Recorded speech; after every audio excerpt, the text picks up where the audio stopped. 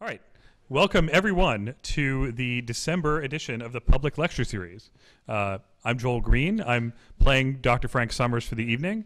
Uh, I'm the project scientist in the Office of Public Outreach, so I work with Frank quite a bit. Um, he is actually currently on a flight back from, I believe, San Francisco as we speak. So he will be back tomorrow. but that's too late for tonight. So you're stuck with me. Um, please take a, an example of our holiday greeting cards um, one per person, and there might be a few extras left at the end. Our speaker tonight, who will be speaking, I'll give a short introduction uh, prior to that. And uh, our speaker tonight will be Chris, Dr. Christine Chen. Um, I'll introduce you in a moment as, as we get through. Uh, and she will be talking about debris disks and other the formation of young planetary systems. Uh, upcoming talks, upcoming public lecture series talks are January 3rd or 10th.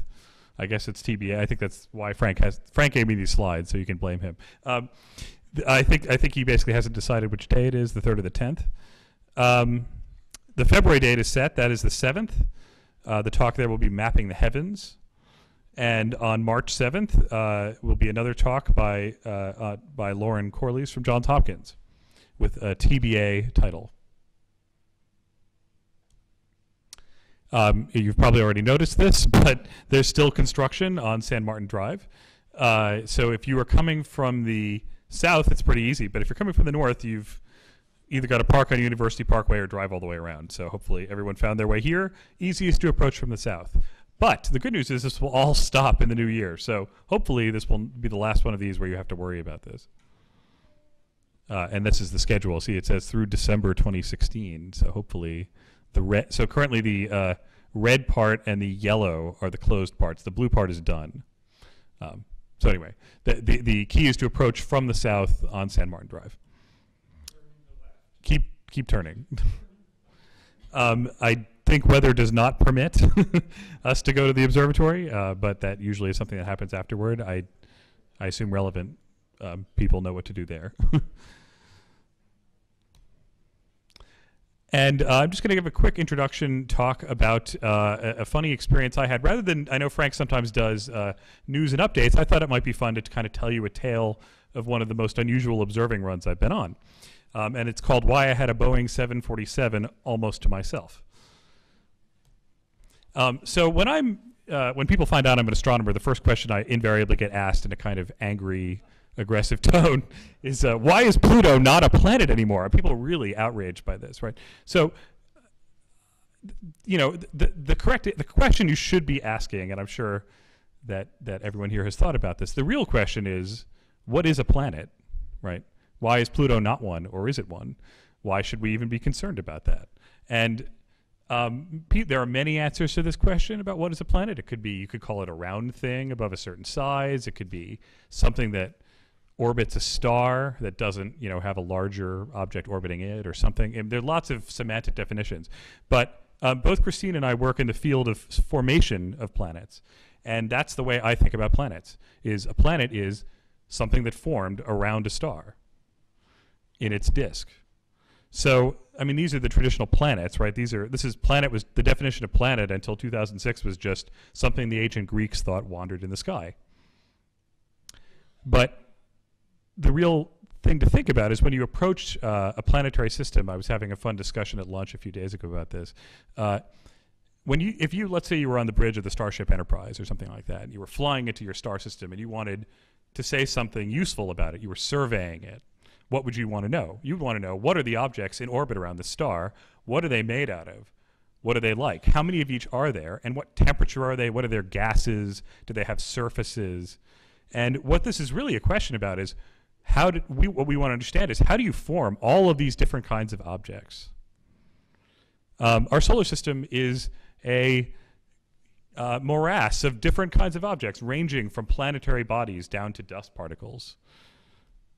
Um, and the solar system, as it looks today, is this kind of neatly organized, mostly neatly organized uh, system with the rocky inner planets, sort of an asteroid belt. That's not the only place where asteroids are, but that's one of the most common places to find them uh, the gas giant outer planets, uh, uh, objects from the Kuiper belt with askew orbits, ice dwarfs.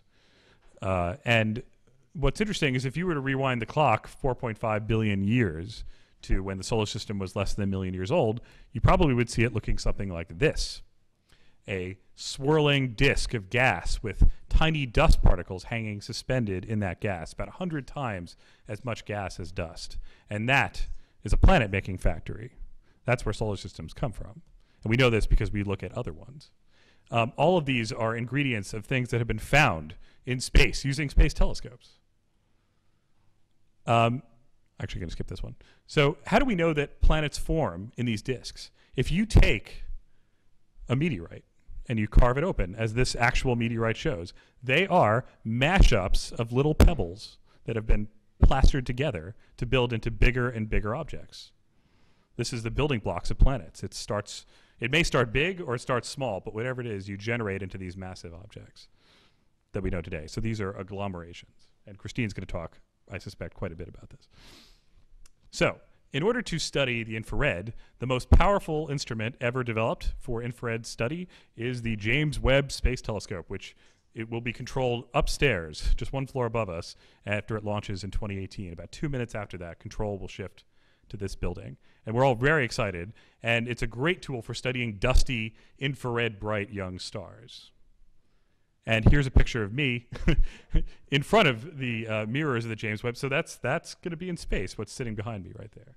So that's pretty amazing. Now, when I wanted to study young stars, there's one problem, which is that the telescope that I want to use is sitting in a clean room in Goddard Space Flight Center and not in space. So I had to use the current state of the art in the infrared, which is airborne astronomy. So I'm going to talk not at all about the James Webb Space Telescope and tell you about another tale of a very unusual observatory.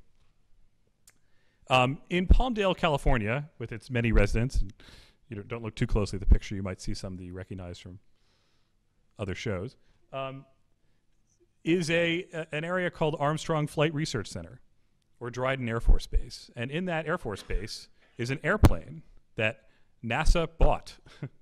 It's not the Vomit Comet. so when people think of NASA airplanes, they ask me, "Oh, did you fly in the Vomit Comet?" I said, "That's exactly the opposite of what I wanted to do. Flying up and down like you know, that's a, we want super stable. Um, this is this is why I would never do well in space. Uh, I just I would lose lose my contents of my stomach very quickly. So, not the Vomit Comet. It's the Stratospheric Observatory for Infrared Astronomy, SOFIA. Um, and what they did was they took a 747 and actually an old style 747 from the 70s, bought it, and they cut a hole in the side of the plane. Uh, and in that hole is a telescope. So there's a telescope about 2.4 meters in diameter. James Webb is 6.5 meters for comparison. So this is small, but it's larger than most of our ground based telescopes. And they carry it to 42,000 feet because the atmosphere of our Earth is one of the things that you know shields us from a lot of things, but it also makes infrared astronomy very tricky. So the l- less air that you have to go through, the better it is. That's why we usually put these things into space. Nice thing about an airplane is you can bring it down at the end of the day and do repairs and change out the instruments and things like that. And what's really neat is I can't go to James Webb or Hubble and use them directly. I can fly with SOFIA, and in fact, I did. Um, it takes a lot of people to fl- plan one of these flights. I have to tell you that uh, on my flight, there were uh, two flight planners, the two pilot or pilot and co-pilot. There's sort of a, a midships person, um, two safety officers, two telescope operators, and two instrument scientists, and an outreach and education specialist, and then six teachers from the California Science Center who'd come along to check out how science worked. So it was about 20 people on the flight. And that's only a small fraction. When we went through the initial briefing, we had to come up with a flight plan. And so they came up with a plan. They, now they have now this this map, right? So it takes off from Southern California. We can't fly over Mexico for various obscure legal reasons. so we, you have to avoid Mexico. You have to avoid military no-fly zones, and you have to fly in such a direction that you can observe your target. So think about this right? Let me go back for a second. If you look at this airplane, so the telescope can only point out the left side of the plane. So you have to fly the plane such that the direction it's facing has the telescope pointed toward the star you want to look at or the galaxy you want to look at. So you fly it in a straight line as long as you possibly can, pointing toward your target with no particular destination in mind. Um, this drives air traffic controllers crazy. Uh, and what's one of the neat things is you have a headset because I'll show you later. They ripped out all the insulation, so it's quite loud inside this plane. It's kind of like being in a noisy bar, um, and but you get to listen to the pilot chatter with the very confused air traffic controllers. The call sign of the plane is NASA 747. You can follow it on FlightAware, um, every one of its flights, and they're all posted. And the so the, the the trajectory you make has you have to end up back where you started. So you fly for 10 hours and end up nowhere, right? You're, you've gone nowhere ultimately, but you've it's been quite a journey on the way.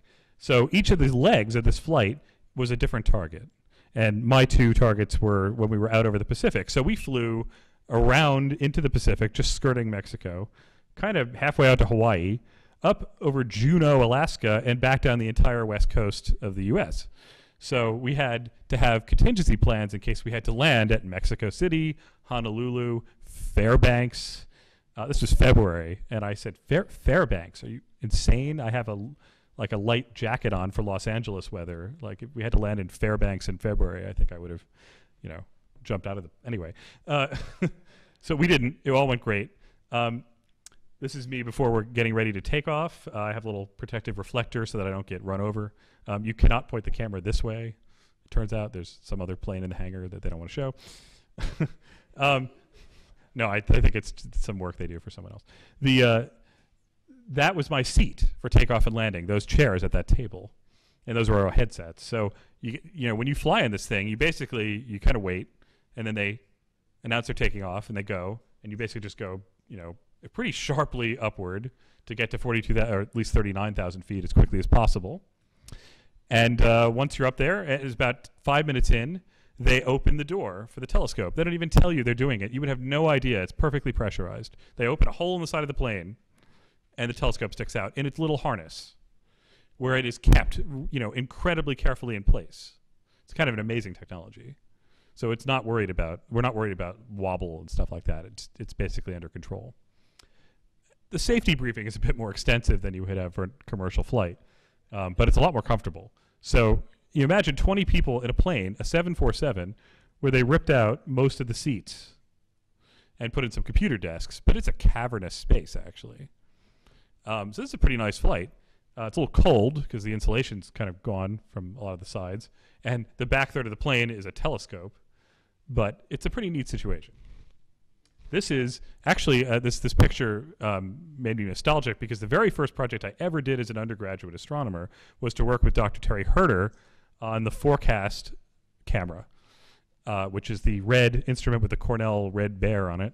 Um, so when I was uh, about 20 years ago, almost when I was there, uh, I was working on that. I can't say well. I say working on it. I was doing a little bit of programming. Anyway, it was fun. It was really nice to be able to use the instrument that I remember being there for some of the testing of when it was first proposed.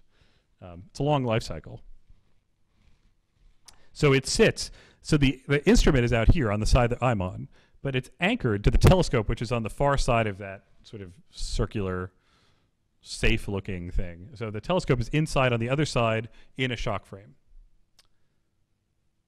And from this side, you could just sort of see it adjusting and back and forth. Now, the key essentials on the flight are that they have a built in coffee maker with, with like a bolt that holds the coffee. I don't know, I just imagined hot coffee whipping across the plane at hundreds of miles an hour or something, but nothing happened. Um, there's a microwave oven. And so you bring your snacks on board and you can have dinner. And it's nice because they left some of the first class cabin seats, so after your observations are done, you can kind of take a nap. Um, and you can go check out what we're looking at. So you can look at the stars, you can see what our targets are, our amazing science that was ongoing. And the best picture I got of the entire flight, they let I, I got to fly in the cockpit for a little bit at the top, you know, the jump seat. And the, you know, so that's a pretty open section of the plane. And the nice thing was when we were over Juneau, there were the northern. This is a terrible picture, but the northern lights occupied the entire left side of the plane. So it was the most stunning view of the northern lights I'm ever going to get. So that was really probably the best picture of the flight. But we did get some data, and some science happened, and uh, uh, this this fun press release on gluttonous stars that you can read, and I'm happy to explain some other time. And uh, you know, my press briefing happened, and I was really excited about the big news, and you know, I I hope to go back again soon, and uh, in terms of the actual science that we discovered, I think I'm going to leave that to our main speaker. Um, let me introduce Dr. Christine Chen.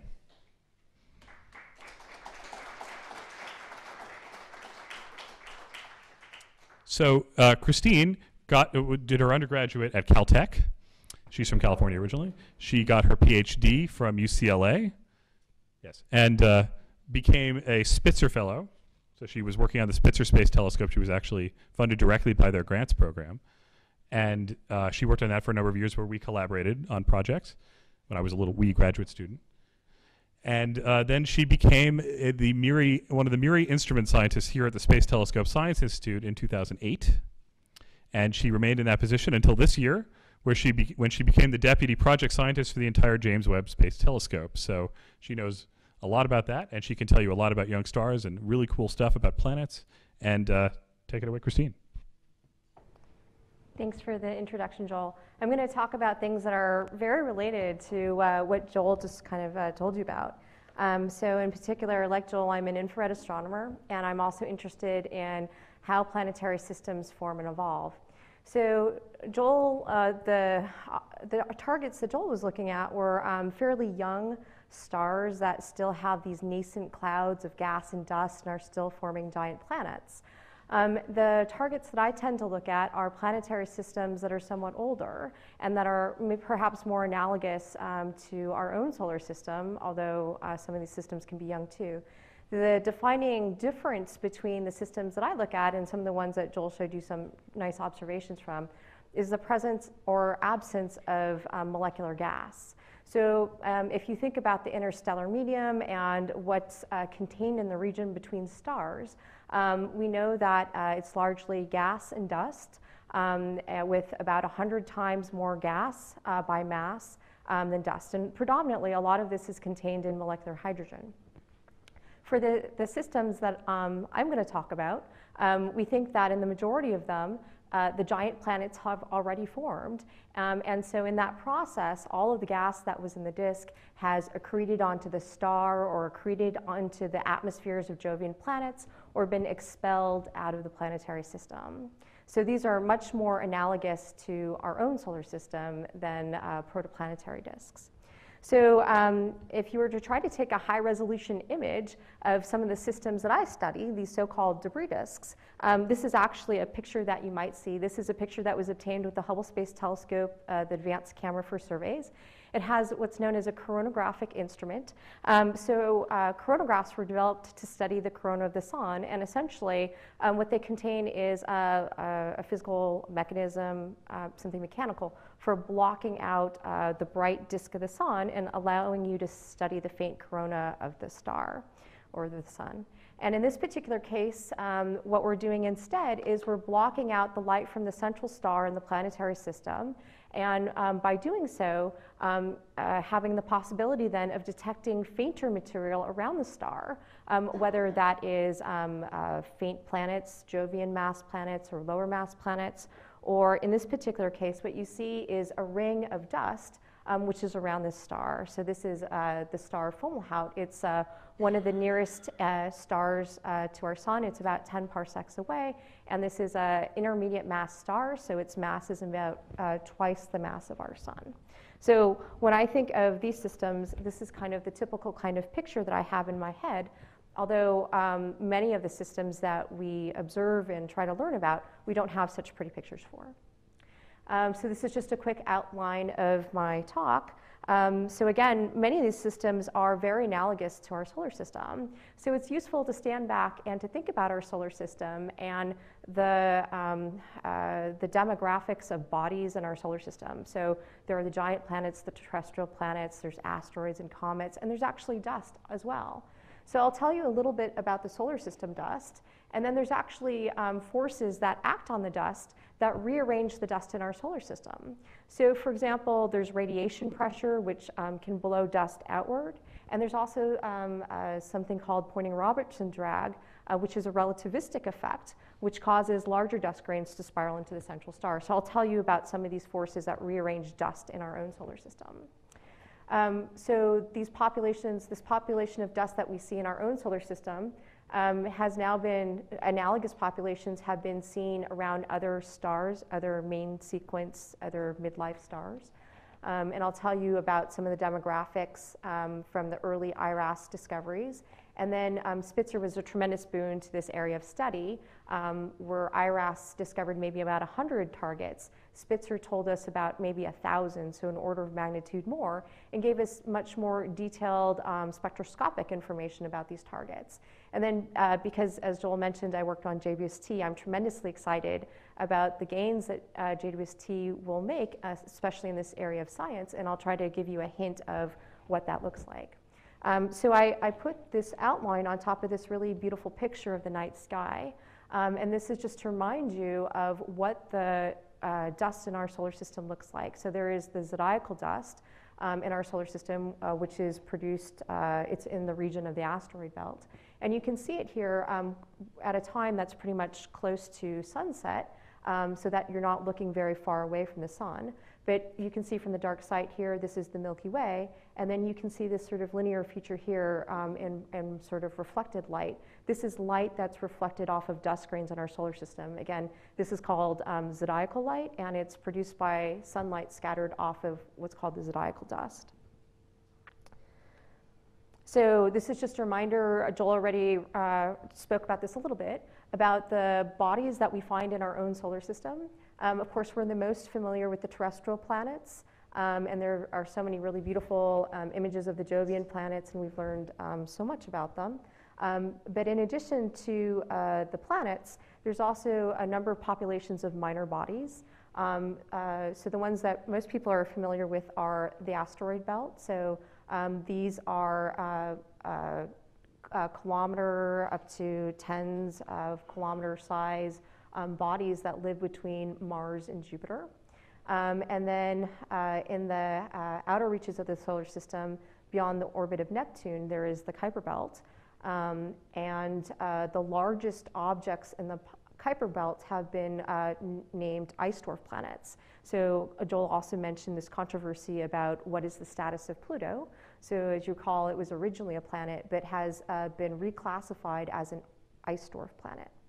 So for the most part, all of these objects lay in the zodiacal, um, in, the zodiacal plane, um, in the plane of the solar system. Um, and uh, but the last population, which is called the Oort cloud, um, actually lies in a, a, spherical distribution around the sun. Um, and these are small bodies that are sort of analogous to Kuiper Belt objects, except for they've been scattered out to very large distances in all different directions from the sun. And this happens because um, uh, the small bodies, for example, in the Kuiper Belt, might have migrated into the inner solar system and then gravitationally encountered Jupiter or Saturn and then um, slung into the outer part of the solar system. So when I think about the solar system, um, this is uh, what I think about. Uh, this is the part of the solar system that we're most familiar with, the inner 5AU with the terrestrial planets and the asteroid belt. And then moving out to the outer solar system, um, you can see the uh, orbits here for the uh, giant planets, the gas giants, um, and then this population of Kuiper Belt uh, objects. And um, both in the Kuiper Belt and the asteroid belt, those small bodies collide, ground down, and produce dust grains. Um, and then uh, on larger scales, this spherical distribution of small bodies that makes up that Oort cloud. So um, I showed you a nice scattered light image of um, dust in our solar system, um, that beautiful panorama of the Milky Way, and then um, the zodiacal light. Um, this is another way to look at the sky, and this is a, an image that was taken from the infrared astronomical satellite. So this was a, a satellite that launched in uh, 1983, and it surveyed the entire sky in the infrared. So it mapped the sky at 12, 25, 60, and 100 microns. Um, when you look at this map, it doesn't look like most maps that you're familiar with um, because you're seeing the heat signature um, from uh, bodies um, both in the Milky Way, so this is the galactic plane here, so this is the, our galaxy, um, and then also the heat signature for foreground closer objects. So um, this thing tilted here, this is uh, dust, this is zodiacal dust in our solar system. So you can see the plane of our solar system is canted compared to uh, the plane of the Milky Way. So this is to illustrate that when you look at these maps of heat, you're seeing, um, in, the far infrared, you're looking at maps of heat. And this is an incredibly efficient way to find dust um, because uh, the dust, for example, that's in our solar system, it absorbs um, sunlight um, from our sun, and that causes the dust grains to heat up to about 230 K. And then those dust grains re-radiate um, temperature heat, um, which is detectable um, in the far infrared as light. Um, what's particularly powerful is that with the dust grains is that if you think of a particular mass of stuff um, and small dust grains, you have a lot of surface area for uh, those small dust grains compared to like a, a planet. So if, for example, if you were to imagine Jupiter broken up into micron-sized dust grains, there's much more surface area in those micron-sized dust grains compared to the planet Jupiter. And this is what makes it so easy to detect those dust grains then um, through the infrared thermal emission. So, um, so if this is the zodiacal light, uh, which was uh, mapped so beautifully here by the IRAS satellite, um, you know, it's interesting to try to understand what is the connection between this dust and, for example, the minor bodies in our solar system. Um, so this is a plot showing you um, the orbital parameters of asteroids in the main asteroid belt. In particular, um, the y-axis here shows you the inclination of their orbits plotted as a function of their semi-major axis. And every little dot on this plot represents a single asteroid. Um, a plot like this was first made by an astronomer named Hirayama in 1918. And one of the stunning things that he discovered was that, um, and you can see this when you look at this more modern plot today, is that there is structure in this plot. So for example, um, there's a gap here, uh, an absence of asteroids. Um, this is the Kirkwood Gap. And so this is um, a, a, location where if a body was here, it would be in resonance with Jupiter. Um, and that resonance then makes the object unstable, gravitationally unstable, so it gets um, ejected um, out of that orbit. So that's why this whole region is clear. But in addition to structures like that, you can actually also see clumping of objects in this plot. And when this was first noticed, um, it was hypothesized uh, that the reason why you have so many objects that are, are, in these clumps is that they were originally part of a larger object um, that broke apart into smaller pieces. And so they still retained the overall same orbital parameters um, uh, that you see uh, uh you know, uh, on this plot. Uh, but there's now a little bit of dispersion um, from having broken up. you can imagine that um, when you have the breakup of an asteroid, you create not just large objects, but actually a whole size distribution of particles. So, not just things that have sizes of a kilometer or 10 kilometers, but things all the way down to fine grained dust, um, things with the size of a micron or so. And those are things that, again, um, have a lot of surface area for their um, mass, and so they're very efficiently warmed up and they very efficiently re radiate the, the heat, the energy that they absorb. And so, um, one of the really interesting discoveries of the IRAS satellite was um, structures in the zodiacal light, in the zodiacal dust. And in particular, um, so these are uh, sort of zoomed in uh, uh, pictures of the zodiacal light, in which you can see that there's actually these bands um, uh, where you have an enhancement of small particles um, in the dust in the inner part of the solar system.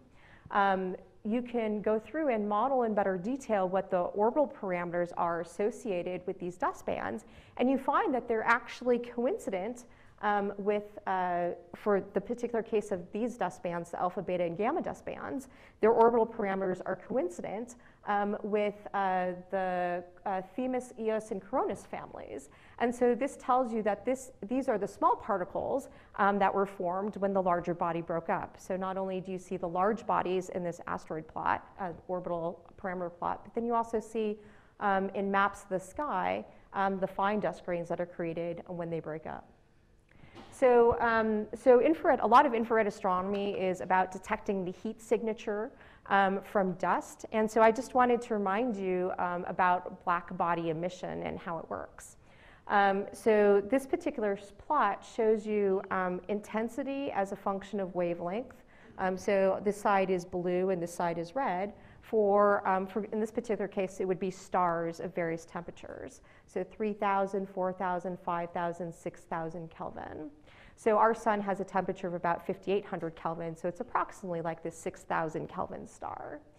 So in the particular case of our sun, um, you can see that um, the peak of the light that comes out is at about 5,500 angstroms. It sort of corresponds to um, yellow-green. Um, but if you imagine stars that have decreasing temperatures, um, the peak in this black body um, function actually shifts to the right. And so the energy that comes out for lower and lower temperature stars is redder and redder. So they have redder and redder colors. The other thing that you notice is that as you lower the temperature, the brightness or the intensity of the object also decreases. So when you lower the temperatures for things, um, the radiation becomes uh, longer in wavelength, more red, and uh, it also diminishes, lowers in intensity. Um, so that's one of the major tools that we look at is um, detecting the heat, um, and I'll, I'll tell you more about the observations. Um, uh, for the dust in our particular solar system, it turns out that um, it doesn't really stay put from where it's generated. Um, so you can imagine, for example, um, asteroids that collide together, and as they do so, they grind down and produce little tiny dust grains. It turns out that for the smallest grains in the size distribution, they have a lot of surface area for their volume. So they have a lot of surface area for their mass. And so that actually means that they're not gravitationally bound to the star. And so they act like tiny sails. And so the radiation pressure just drives them, blows them out of our solar system. And so in some sense, there's a minimum size to the dust grains that are in our, are in our solar system. For um, uh, dust grains that are, are larger, they're no longer sensitive um, to radiation pressure in this way. Um, but what happens to them instead is they feel a relativistic effect called Poynting-Robertson drag. And in that particular case, you can imagine that you're a dust grain orbiting around the star. And as you do so, you feel a headwind of photons from the star. And that causes you to slow down, and so you lose angular momentum and you slowly spiral into the star. So the basic takeaway message is the expectation, or what happens in our solar system, is that the small grains get radiatively blown out, and the large, larger ones spiral into the, into the star.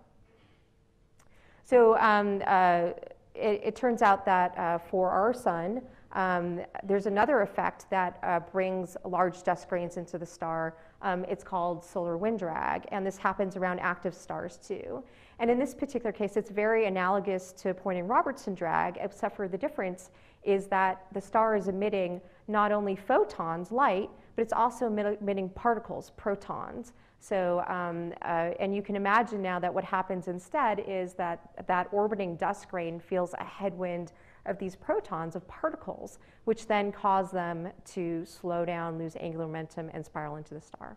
So the, the, just the, the main point is just that dust in the solar system gets rearranged in these different ways. So the part that really interests me is um, what do we know about planetary systems around other stars? Um, do, we, uh, do we think that there are lots of other planetary systems that have analogous belts of um, small bodies? Um, and you know, are they, uh, do they play some sort of role in how planetary systems form and evolve? So for example, um, if you think about uh, our solar system and the Earth, um, one of the outstanding questions today is how was water delivered to the Earth? How did the oceans get here? And that's, that's actually something that we don't understand well. And one of the ideas um, for the origin of the oceans um, was essentially they were delivered by comets from the outer solar system. So these minor bodies might actually be a very important source of water um, in extrasolar planetary systems. So the answer is that we've been able to discover um, minor bodies, so asteroid and Kuiper belt populations around other stars. And we do this um, in the infrared. Um, and particularly, this started with the IRAS satellite. So I showed you the beautiful all sky image and then showed you the zodiacal dust bands.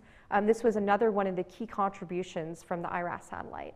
So um, basically, um, when IRAS was launched, they, the, the, astronomers envisioned that they would use nearby A-type stars as calibrators, and they felt that they understood very well um, what the flux from those stars should look like based on um, how they look at visual wavelengths. And so basically, if you look at these plots, they're um, brightness flux as a function of wavelength. Um, and you can see 12, 25, 1600 microns. So these are far infrared wavelengths. And these straight lines show you the expectations that people had for how bright those stars would be. And you can see these error bars show you the actual data. And what's really stunning is that these predictions for how bright the stars were or should be was a factor of 100 or so wrong for these four particular stars. And so when um, this was discovered, it was immediately hypothesized that the reason why um, they're so bright at 60 and 100 microns is because you have circumstellar dust, so dust around the star, which is absorbing light from the star, warming up, and re radiating that energy as thermal emission. Um, and so that's uh, the current understanding. And indeed, when um, astronomers were able to, um, once they identified these uh, interesting candidate targets, um, so in this particular case, this is like Vega, Fomalhaut, Beta Pictoris, and Epsilon Eridani, um, they would go to um, other facilities and then try to take a picture of the planetary system. And so uh, one of the first ones that they were able to do this successfully for was Beta Pictoris. This is a more modern image um, taken with the Hubble Space Telescope with the STIS coronagraph, in which um, the star has been placed behind um, an occulting wedge. And you can see that there's this bright linear feature. This is a disk that's being seen edge on. Um, and then you can see um, a different stretch here um, which shows you more clearly this edge on disk. So this again is what you're seeing is heat from small dust grains in this particular system. The really interesting thing about whenever people go out and take images of the system at higher and higher angular resolution is they find detailed structures that imply the presence of planets. So in this particular case, in the case of Beta Pictoris, what you can see is that the inner part of the disk is warped with respect to the outer part of the disk. And um, the, one of the hypotheses for why this is true is essentially that there is a companion, that is a planetary mass-sized thing um, in this planetary system, which disrupts the dust and um, uh, forces the dust onto these inclined orbits. If you uh, look at the distance of this warp compared to the star, you can then um, place constraints on the product of the mass of the planet and its distance um, from the central star. And one of the really exciting things is um, in the 20 or 30 years of studying these particular objects, uh, people have been able to refine their understandings of these planetary systems. And so this is now a, um, even more recent uh, image of the exact same system. This is now ground-based data taken with a very large telescope, uh, ESO, the European facility in Chile. Um, and it's a composite image showing you the disk. But um, now you also see, uh, so the disk is taken with a coronagraph, but now you also see um, images of a point source that were discovered um, very close to the star at about 10 AU from the star. Um, this uh, position on the sort of left side here was the discovery epoch, and then it appeared to disappear for a while. And then it reappeared, so first was detected in 2003 and then was reappeared in 2009.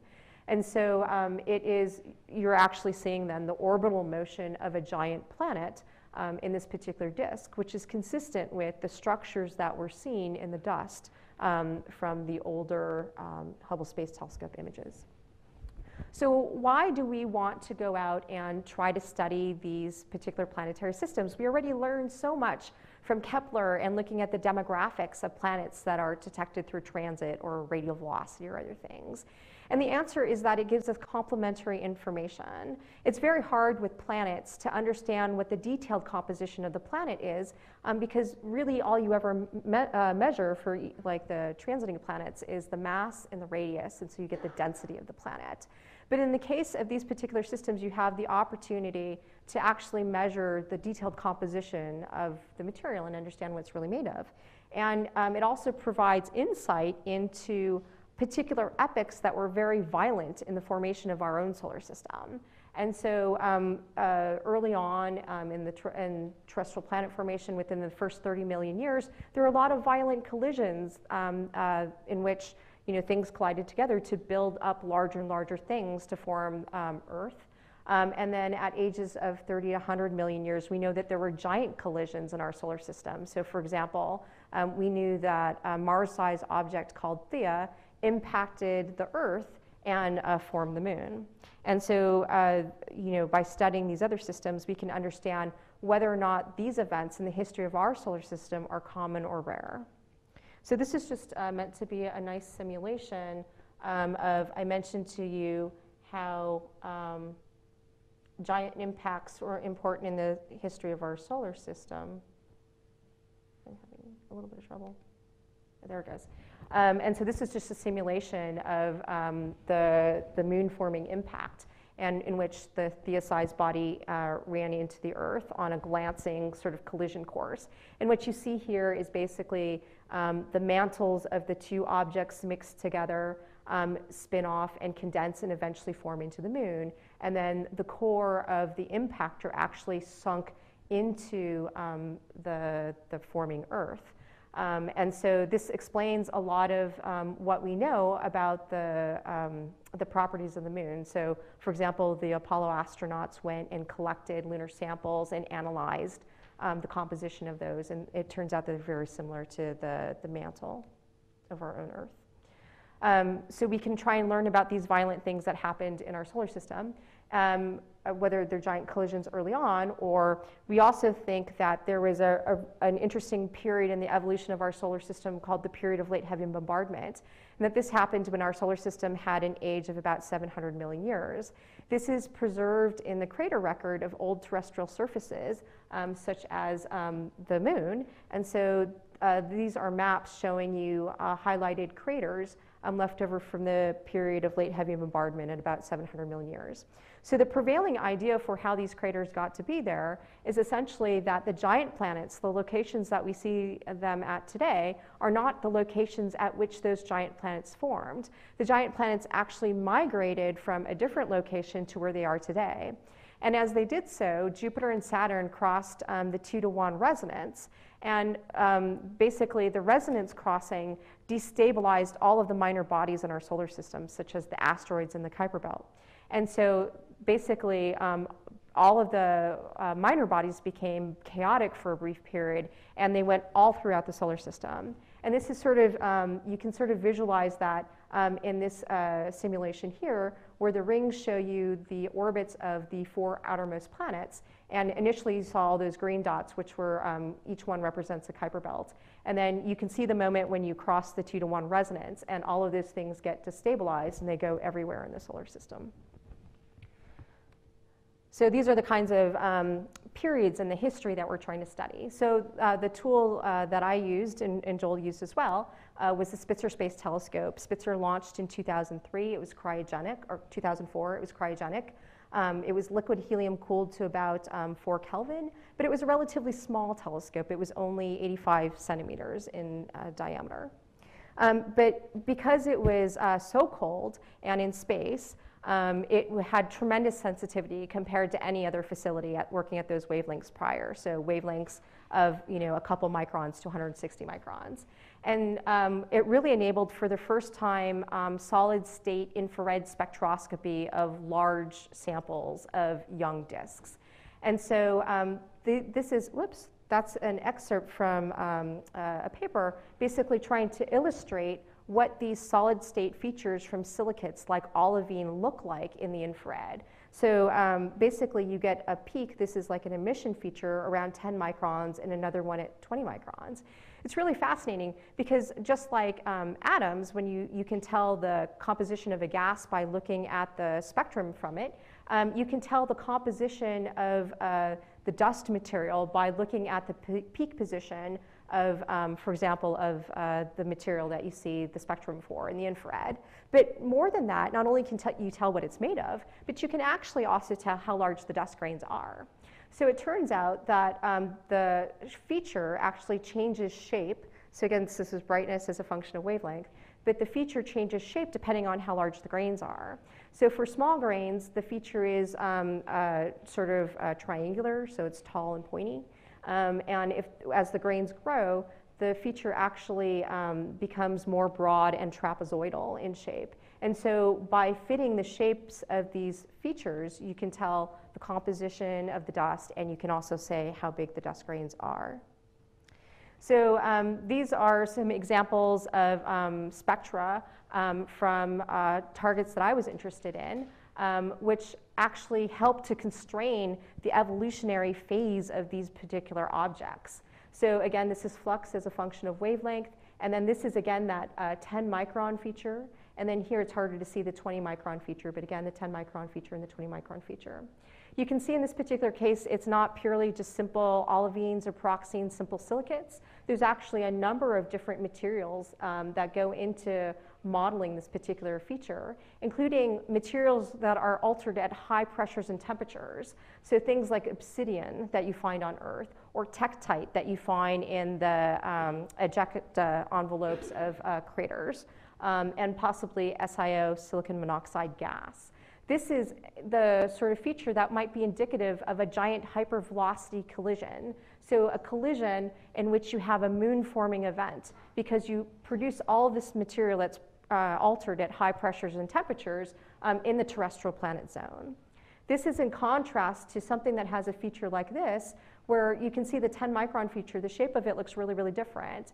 And um, this is because when you decompose it, it's made out of um, instead things more like water and amorphous carbon.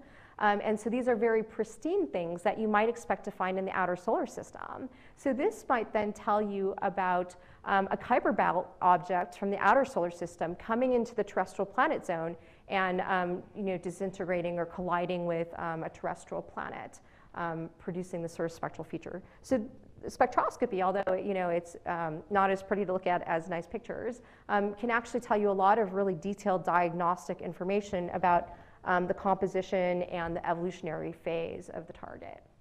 Um, but you can learn not only about the composition of the targets, but also about the um, spatial distribution of the dust and this is really relying on the fact that when you look at dust in these systems, the dust that's closest to the star is actually warmest, and the dust that's further away is actually coolest.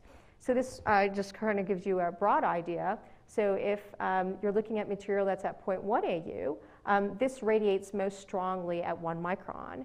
Um, whereas this material here that's at maybe about 100 AU from a solar-like star um, radiates more strongly at 1,000 microns. So basically, in the absence of having a picture that shows you where all the dust is located, you can take um, measurements of the brightness as a function of wavelength and try to invert them to figure out um, where the dust is located.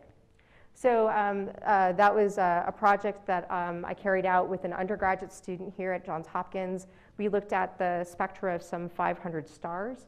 Um, and uh, each one of these postage stamps is um, the brightness as a function of wavelength for um, a bunch of stars. And you can see there's these strong um, sources on the blue side. This is the emission from the star. And then the gray things are the emission from uh, the dust. And so you can see that in a lot of cases, um, there are sources for which there's not dust very close to the star, but there is dust pretty far away. Um, and this tells us basically um, that um, there is a, an inner region that's devoid of dust.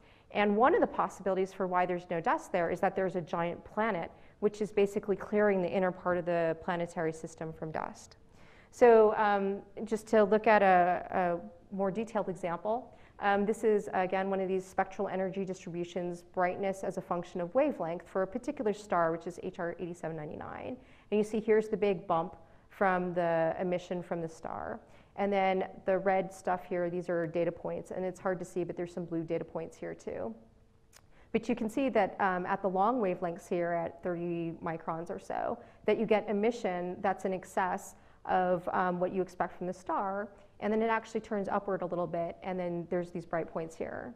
Um, essentially, when you try to do the analysis of the, the heat from this system, um, you require having two components, a warmish component and a coldish component. And this is very analogous to like what you might expect our solar system to look like to an observer far away. Um, we have the asteroid belt and the Kuiper belt, and then a family of Jovian planets that live in between. And in this particular system, you're seeing kind of the same thing, an asteroid belt and a Kuiper belt and some space in between. And so that seems like a really good place to go look for planets. And indeed, um, uh, there are some astronomers using the Keck telescope in Hawaii Um, and uh, they, were, they weren't using a coronagraph, but essentially uh, they were uh, having to subtract out the emission from the star so you could see faint things. So that's why there should be a bright star in here, but it's been subtracted out.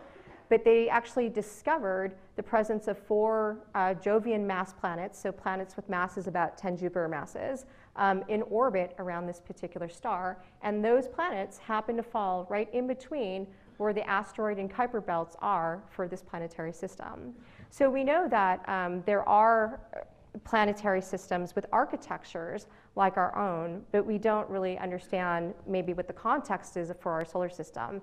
How common is it, or how common or how rare is it? So one of the reasons why I'm tremendously excited about the James Webb Space Telescope is you can just tell by looking at this particular graphic, right? This shows you to scale the difference between the Spitzer Space Telescope and the James Webb Space Telescope. So Spitzer was an 85 centimeter telescope. JWST is going to be a six and a half meter telescope.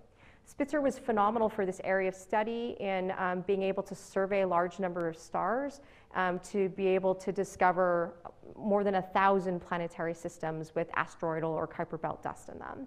But what JWST is really going to bring to the table is because it has such a much bigger mirror, it has much better angular resolution. And so now instead of seeing an unresolved point, you'll actually be able to look at where the dust is as a function of position, map out the dust in these planetary systems.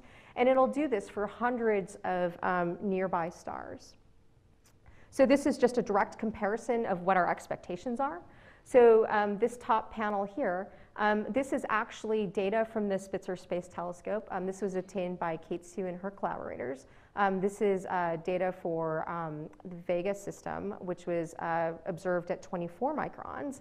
And you can see here, because the resolution for Spitzer is so poor, um, essentially you take that um, poor resolution and convolve it with this planetary system, and you just get a big blob.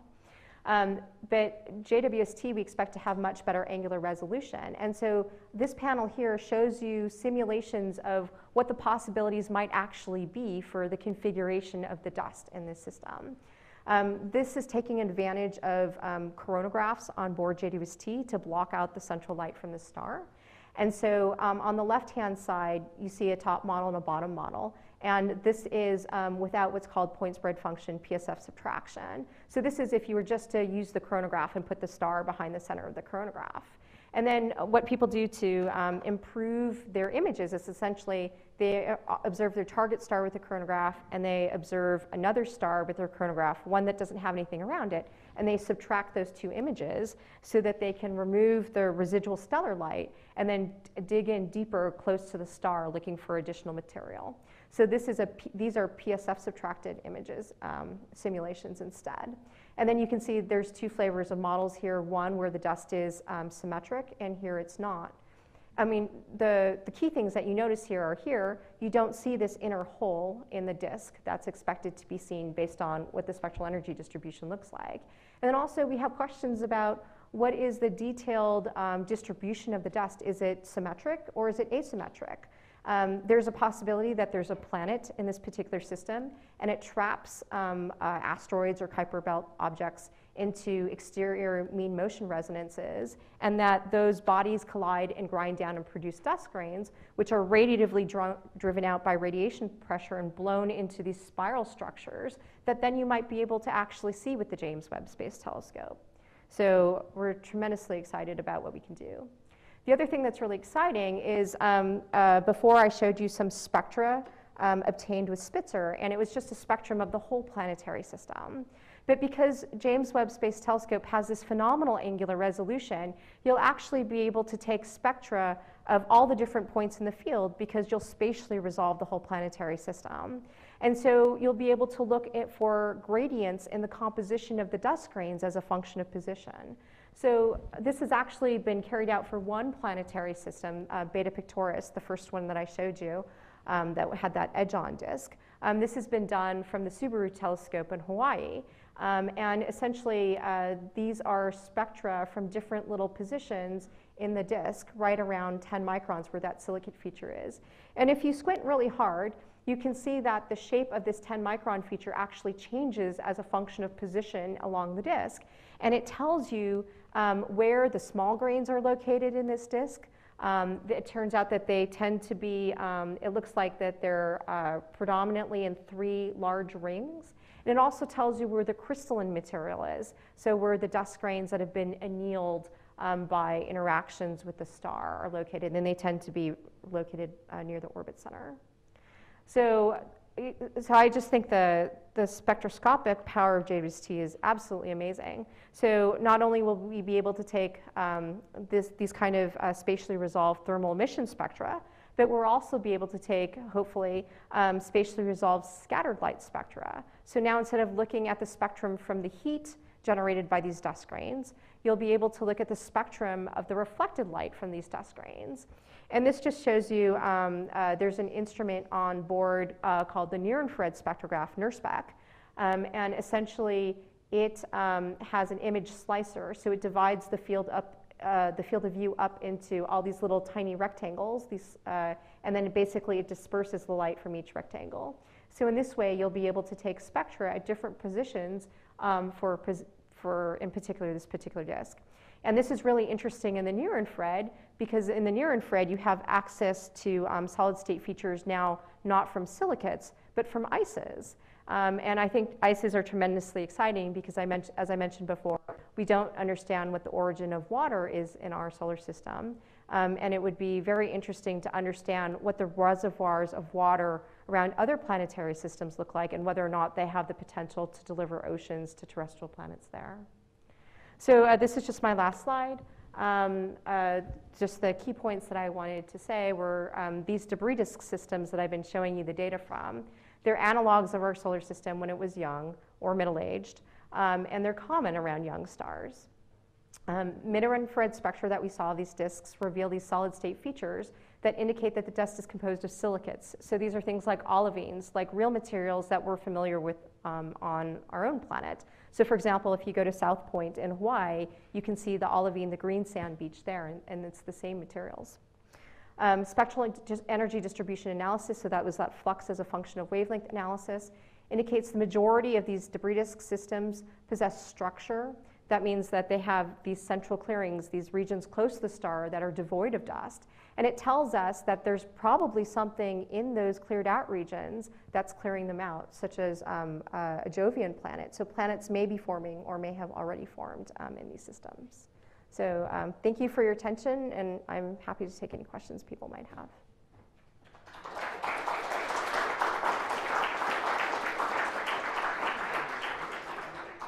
Questions for Dr. Chen?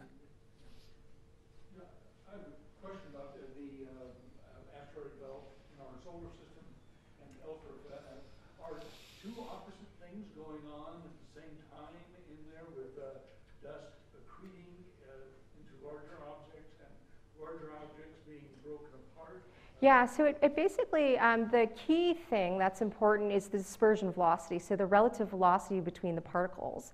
So if the relative velocity is relatively low, then things tend to stick. But if the relative velocity is very high, then things tend to shatter.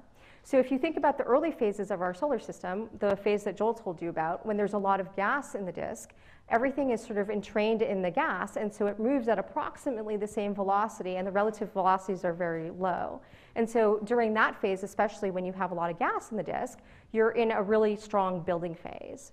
But once the gas is dissipated, um, it, you no longer maintain similar relative similar velocities in the material going around the star, and so you can get fairly high relative velocity. So things can be going in different directions at fairly good speeds, so that when they actually hit, it's destructive rather than constructive. But the speed that they're traveling is determined by the distance from. Right. But there's a little bit of a, I mean, it's not just, a, so you're thinking about Kepler's law, but I mean, in addition to, um, you know, it's not just the orbital velocity because everything doesn't orbit in a perfect plane, right? And so there's different um, semi-major axes, inclinations, eccentricities. I mean, you're in a pile of goo, right? You're this gas, and you're traveling through molasses. That is going to let things sort of gently roll into each other. Whereas if you take the gas the gas away, it's open season. It's like firing a bullet underwater versus air. Yes.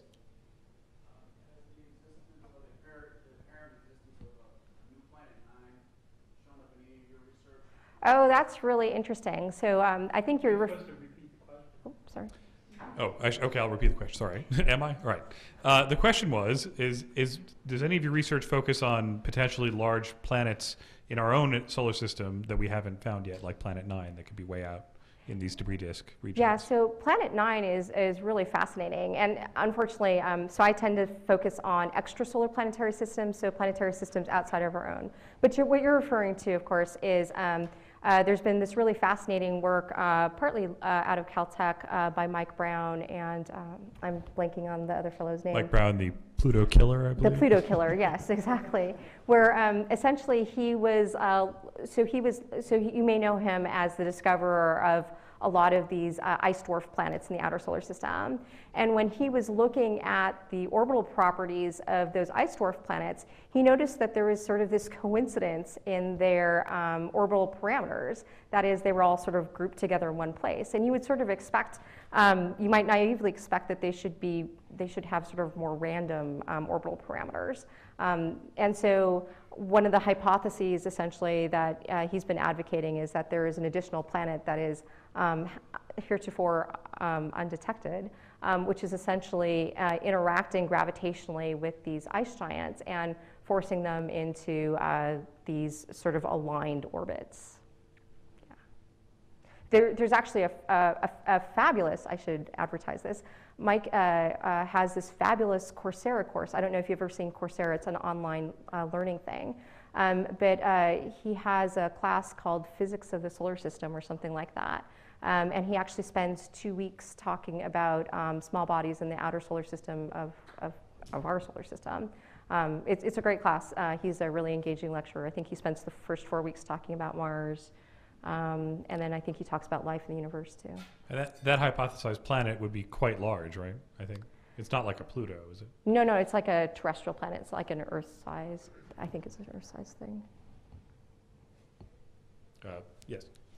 Uh, I'm curious about um, the slide where you had the spectrogra- the IR spectrographs. of Yeah. The accretion disk, I guess. Uh, well, these are these are debris disks. They're, what, what? They're debris disks, so they're older. So they're this phase. So an accretion disk means that you have stuff accreting onto the star. So that in, inherently means that there's gas in the disk, um, and so all that mo- material is entrained and going onto the star. This is more like an anal- analysis. It's more like a solar system. Yeah. Um, I was curious whether the, Mhm. the, um, the single lines on the bottom are what you're using to create the best fit model, or you're, or you're, you're using the best fit model of the data that you found to determine what is, like, how, how does this? How does the modeling work? Yeah. Yeah. So basically, um, this is work that was carried out by my friend Carey Lisse um, at APL. And um, he has this uh, huge library of emissivities of different materials. And basically, he does like a minimum chi squared analysis. So he takes all of these components and um, tries to add them up in some sensible way in order to reproduce the feature as best as he can. So you can see in some cases that this might be successful if like there are features that are at distinct wavelengths so that they can't be created by anything else. But you can see that there are a lot of things where um, you know you might have spectral features that are overlapping. And so one of the frustrations with this kind of analysis is actually it's somewhat degenerate. And so you can imagine different mixtures of materials um, giving rise to the same feature. Yeah. And so when people do this kind of analysis, basically they have to, you know, if they're being very rigorous about it, they'll go through and do a Monte Carlo analysis. And then basically they'll show you like a probability distribution function. So the likelihood that you have any given material. So it's, it's not just like, oh, it's like 50% is this. It's like, you know, um, the most likely model is that 50% of it is that, but you like, you know, there's also some probability that it's like, you know, 30% instead. So, So Yeah. just to clarify for the audience, so the the the um, the, the non-experts, the dash, the lines at the bottom, these olivines, obsidians, etc. yeah, these When you say they're a library, they are, that means that they were measured by. in the laboratory. So with Yeah. on Earth, someone took one of these rocks, used a spectrograph to create an actual lab spectrum of that rock, and then we're using it to, To compare as it a to the as a astronomical. fingerprint for yeah, Yeah. for space-based ones. Uh, yes. Could you unpack uh, how comets, uh, further explain how comets could be the the source of the ocean? Yeah, the so- question was about comets and the source of the oceans. Yeah, so that's actually a really fascinating um, field of research. So basically, um, when one of the things about the Earth that we don't really understand well is like um, how much water is on Earth. Um, because you know uh, water is incorporated in the earth at uh, many different locations, including in the deep interior, and so the exact amount of water is not known. Um, one of the ways that people have tried to diagnose what so the, the fundamental problem is if you look at the location of the earth where it is today and assume that it formed there, essentially um, the uh, earth the proto-earth is too hot to basically retain water vapor. And so the um, going in hypothesis for people for decades has been that the earth is formed dry because of this. And so that means that like the water had to come from somewhere else. And so um, for a long time, people had um, considered um, comets as the source, source of um, water in, in the ocean. Um, and one of the diagnostic ways that they would try to figure out whether or not this was true was looking at the deuterium to hydrogen ratio in mean ocean seawater um, and compare that to the deuterium to hydrogen ratio in comets to see if at all they were common.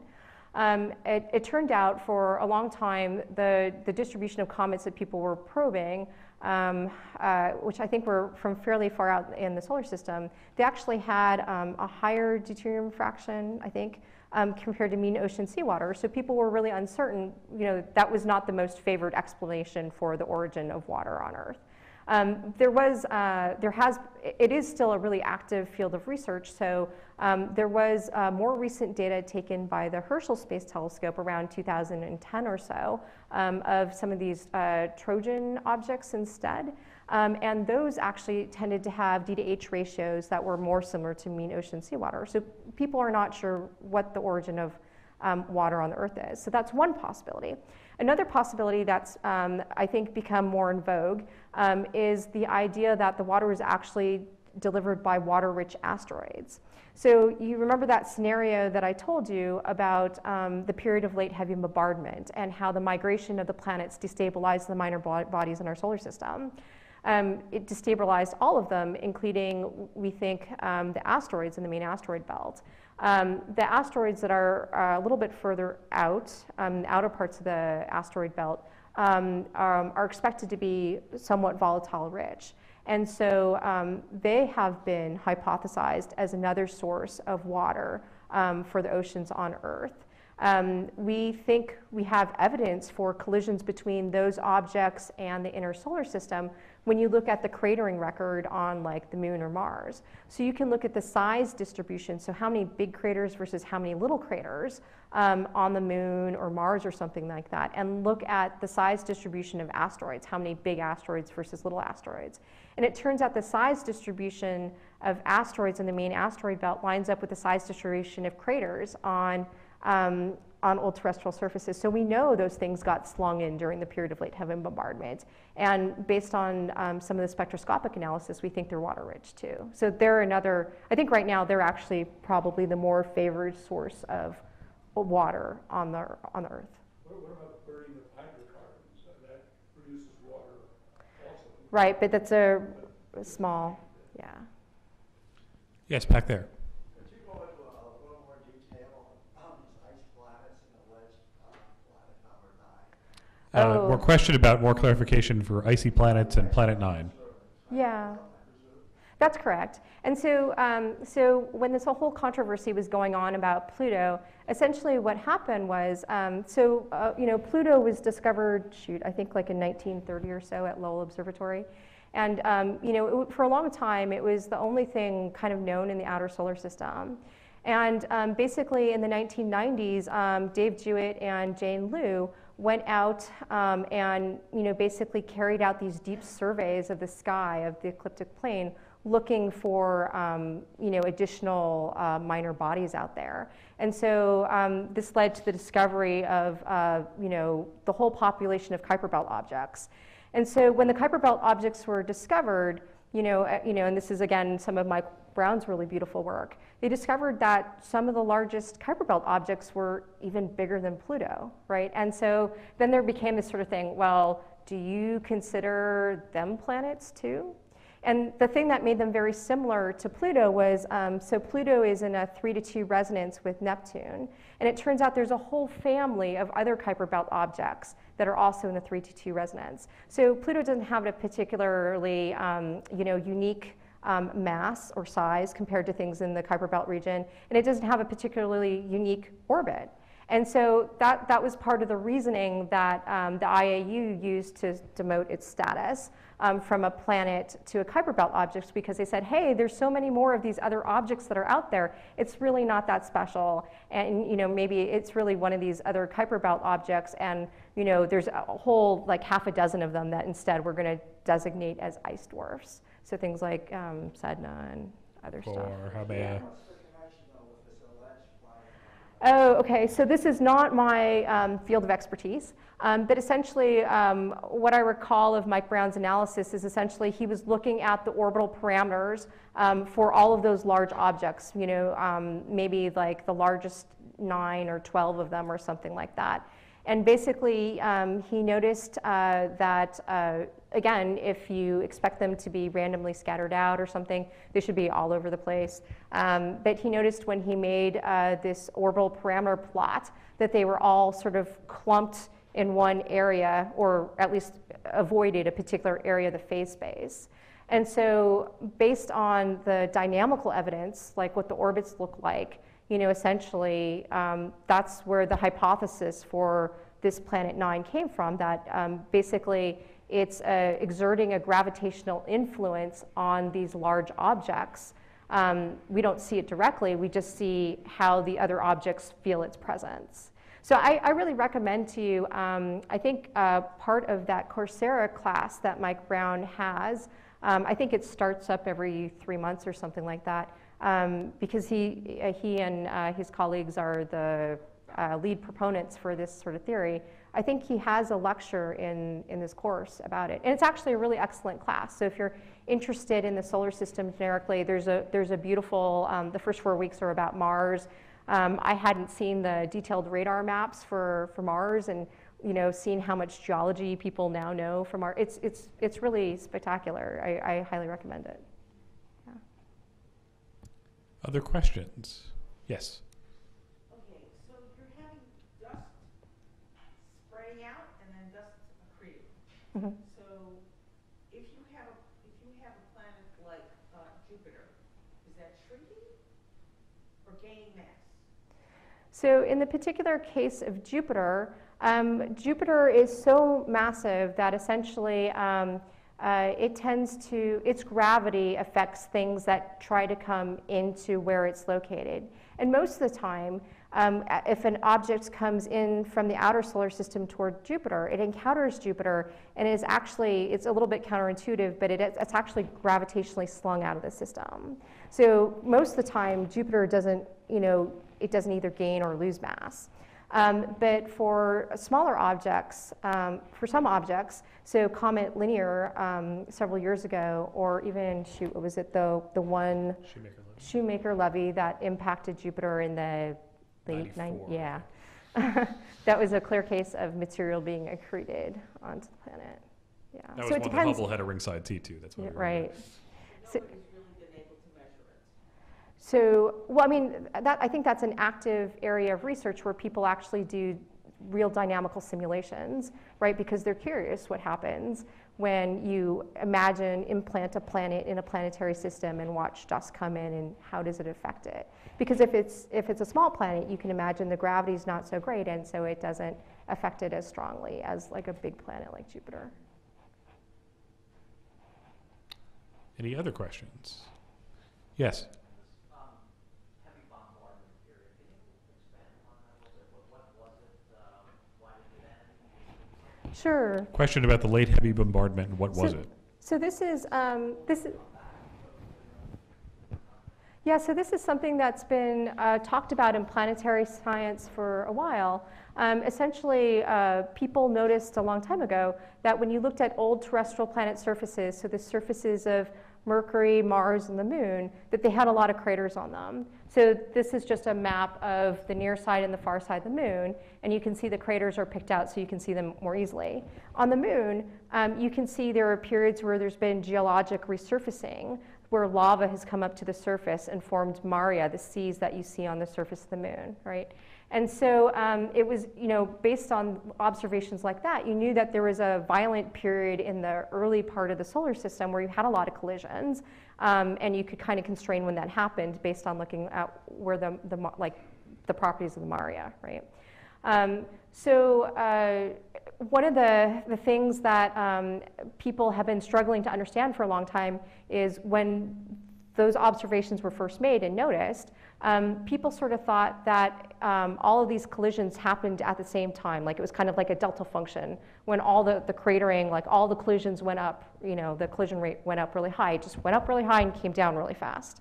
Um, there's been a lot of really uh, nice work by uh, uh, a researcher named Bill Bottke, um, particularly uh, you know studying uh, these surfaces and trying to understand uh, th- this cratering um, period.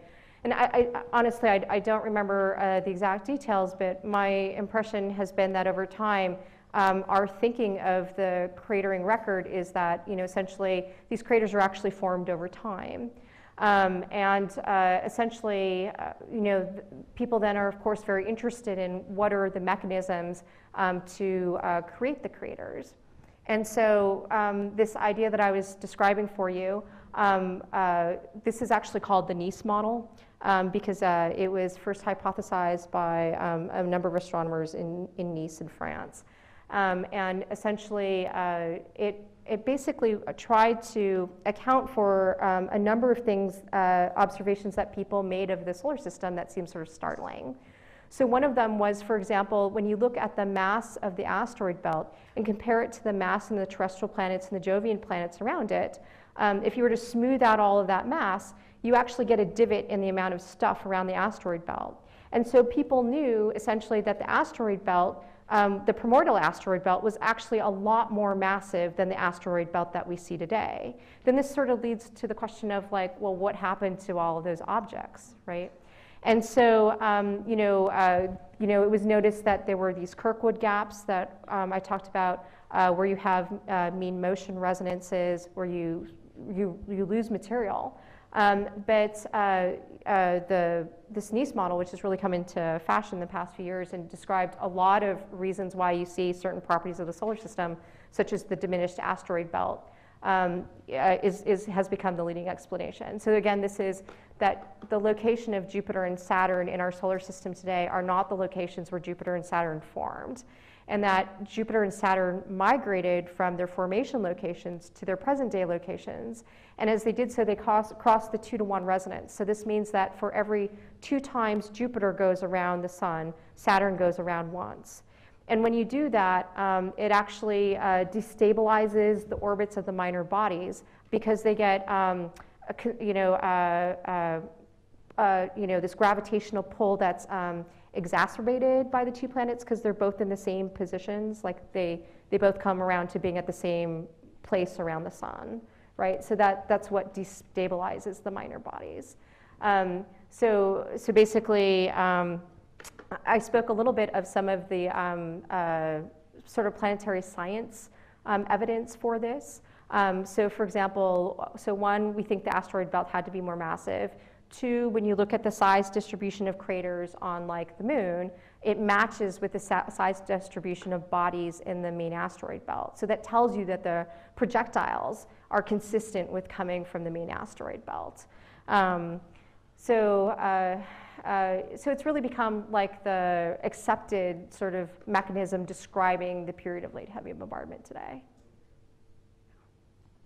I think we have time for one final question, if there is one. I think maybe we've we've we've done it. All right. Well, thank you everyone for coming. Thanks again to Dr. Christine Chen, and uh, see you in a month.